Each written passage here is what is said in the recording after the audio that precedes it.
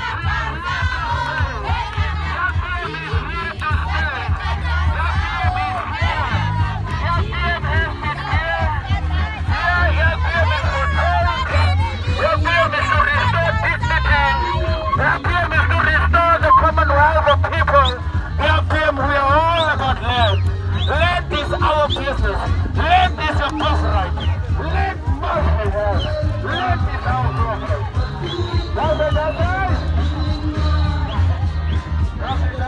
wetgewing nie, maar dit word gedoen in die praktyk. En ons weet daar is net een politieke party wat toegelaat word by die Central Verification kantoor wat nie bestaan nie, wat nie by wette is nie en net een politieke party word toegelaat om daar te help om te tel. Ek sê niks. So ons sal sien hoe dit sal gaan en julle kan sien mense. Wanneer zeker van die politici praat van staat zichzelf, dan zeggen of de IVM's of de ballot boxpapers is, ons zal nog winnen. Als iemand zegt, ze zal nog winnen dan spijt van alles,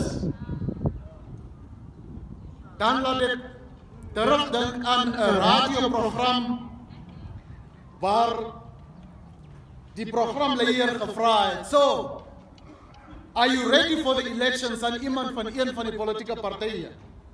Vra die programleier. Are you ready for the elections? Sê die ou, yes, we are ready for the elections. We have mobilized. We are running around. We are even ready with the results as we have already won. So die kookhuis is al besig. Wat hulle vir ons sê is dat hulle maksimum vir ons miskien 15 setels sal gee. Want ons mag blykbaar nie meer as 15 setels kry nie. Sommige sê ons sal die 4 Hy tel net op. So hy calculate en die ander masjien moes gekyk het wat hierdie calculator doen. Maar die VVPAC het nooit gekom nie. Hy het nooit gekom nie. Hulle sê vir ons begin van hierdie jaar dat die VVPAC nie in Indië vervaardig gaan word nie, want die Indiërs is besig met hulle verkiesingsreëlings. So dis die een. Die tweede wat hulle vir ons sê is dat as die VVPAC kom, dan het die VVPAC 'n 5% variasie wat die skep in die elections.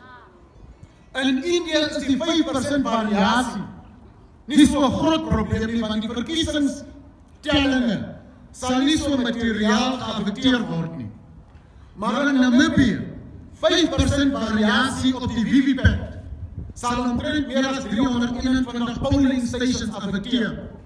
Wat beteken dat ten minste 21% van die totale verkiesingssyfers beïnvloed kan word van die variasie wat wat die VVPAC bring. 21% variasie in ons verkiesings is baie materiaal en daarvoor kan die VVPAC nie gebring word nie. Met ander woorde, los eers vir ECN8 Wie ook al betrokke was in die besluit om EVM's in die land se verkiesingsproses in te bring, het nie 'n baie ver